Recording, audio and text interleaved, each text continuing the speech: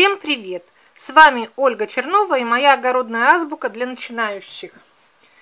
Вот сегодня я пришла прорыхлить свою рассаду, самую-самую, которую для ранних урожаев, и хочу рассказать вам, какой уход требуется вот таким маленьким сеянцам. Большую потом рассаду, когда ей будет месяц, например, или полтора, там уже она сама выживет. А вот сейчас когда они совсем-совсем маленькие, слабенькие, нам нужно за ними немного поухаживать и поддержать их. Что делаю я? Вот лотки я вынесла сегодня для того, чтобы прорыхлить. Три дня назад я их распекировала, полила под корень, общего полива не было, и теперь я не буду поливать целую неделю, но рыхлить грунт я буду. Я всегда после пикировки через 3-4 дня – начинаю рыхление между рядей. Вот такое нежненькое-нежненькое рыхление, взрыхливание, для того, чтобы обеспечить доступ воздуха. Вот эту вот рыхлилку я сделала сама из шампура. Шампур изогнула, он у меня уже третий в жизни. Они, конечно, летом теряются. Я летом между ряде маленьких сеянцев морковки им же рыхлю. Рыхли-рыхли. Сейчас покажу зачем. Вот это вот уже готовые прорыхленные – Сейчас мы сюда переместимся, на тот лоток, где рыхления еще не было, и вы увидите, что рыхление действительно необходимо. Хотя я говорила вам, что я сплошного полива не делала, я лила только под, ну, под корень, вот по бороздкам. Но все равно вода, когда подсыхает, вот после этого полива, она начинает вот как образовываться корочка и даже трещинки – вот видите вот эти трещины. И вот эти междурядья я начинаю осторожно-осторожно рыхлить, потому что доступ воздуха к корневой системе, к системе вот на таких ранних сроках, это очень важно.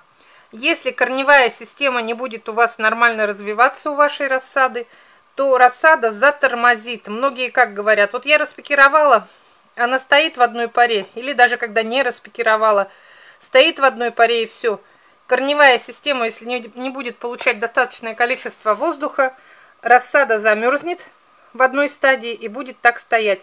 Полива у меня не будет сейчас долго, потому что сейчас прохладно. Ну, не, не тот период, когда сильно высыхают лотки, но рыхлить я буду. Я вот прорыхлила и после этого делаю питательное опрыскивание. Так как поливать мне нельзя во избежание черной ножки, я их раз в неделю буду сбрызгивать. Сейчас я настрою, как хорошо. Сбрызгивать мелким-мелким-мелким-мелким капельками. Так, сейчас передвинемся сюда. Ай, ой, извиняюсь. Я одна работаю, мне неудобно.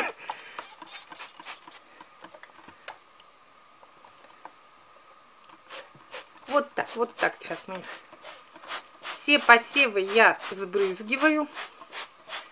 Сейчас я расскажу, зачем я это делаю. Вот я сейчас сбрызнула питательным раствором вот HB101, на котором написано, у меня специально про него снято видео, стимулятор роста и активатор иммунной системы. Вот этим сбрызгиванием еженедельным мы будем повышать иммунитет наших маленьких растюшек.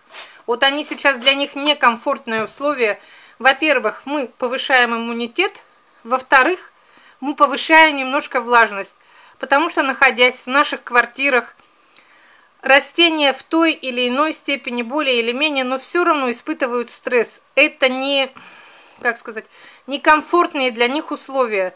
У нас влажность воздуха намного ниже, чем нужна растениям. То есть в наших квартирах или в домах сухой воздух для растений. Они могут испытывать стресс от этого – у них даже, если будет земля влажная, а воздух сухой, это им плохо. Вот именно для этого раз в неделю я делаю опрыскивание. Опрыскивание не надо совмещать с поливом. Сейчас объясню почему. У меня вот если воскресенье будет поливочный день, то среда или четверг будет день опрыскиваний. Потому что поливочный день, когда идет, если мы опрыскаем, э, спрыснем, потом начнем поливать, то все, что мы опрыснули, оно смоется. А нужно, чтобы вот это вот, видите, вот эти капельки, они как можно дольше находились на листьях. Это будет как и внекорневая подкормка, немножко питания. опрыскивать можно хоть чем, эпин, копин, фиктон. Вот все. Вот этот короткий видеоролик я показала именно в процессе работы, мне долго рассказывать некогда, как я ухаживаю за растениями на самых-самых первых вот днях, неделях, им еще даже месяца нет. Прорыхлила землю, спрыснула, все, я их опять сейчас унесу, унесу на стеллаж, неделю я буду знать, что они чувствуют себя хорошо. Вот после пикирования, после пикировки все у меня выжили, ни одного нет погибшего растения. Им, конечно, сейчас немного я же повредила их, не корневую систему, растрепушила их, растревожила. Сейчас они немножко в состоянии стресса побудут неделю, потом восстановятся вот эти маленькие, возобновятся корешки, корневая система усилится, и они быстро пойдут в рост.